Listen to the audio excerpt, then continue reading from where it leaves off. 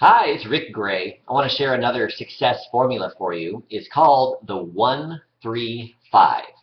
Now, if you're a salesperson, you might have heard of this before. Certainly it's something that Gary Keller with Keller Williams Real Estate advocates in his books and teaches it to all of his agents. It's a fantastic formula on how to achieve success in any area of your life, whether it's your, your sales and personal finances or your business, maybe it's your health and fitness, your relationships right? Your spiritual goals, whatever you have, a 135 is one sheet of paper, right? It has to fit on one sheet of paper. And here's what it is. The way to remember is the initials GPS. I think we can all remember that.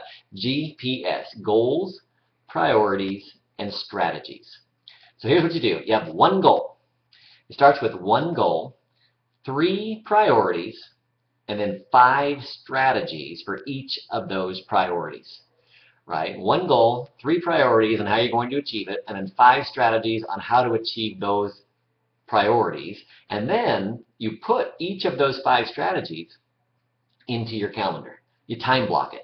You actually put it in your schedule. If it's not on your schedule, it doesn't exist. You won't do it.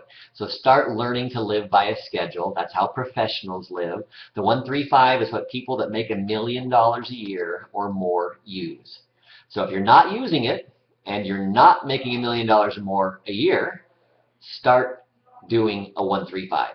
You can do a 135 for your finance and business goals, anything you want. You have the main objective up front. I want to earn X amount of money in 2014 by December 31st, right? Whatever the goal is, make sure it has an X to Y by when.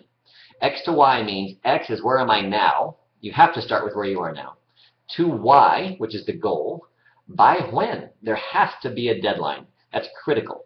The goal is an X to Y by when. Then three priorities and how you're going to do that. Right? Three ideas. You just come up with them. I need to do this, this, and this. These are the three main priorities. Then for each one of those, this is where it takes a little bit of thinking.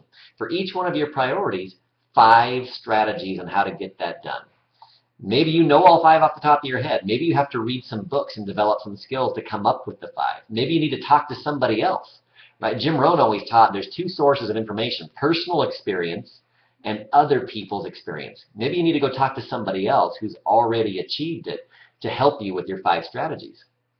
Then the key is after you come up with your one goal, your three priorities, and your five strategies for each priority, you put them in your calendar. If you have a Google Calendar or whatever it is that you use, you time block it in.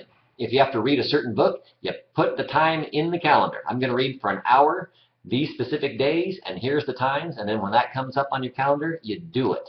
If it's not on your schedule, it doesn't exist. So start using a 135. It will make a massive difference in your life.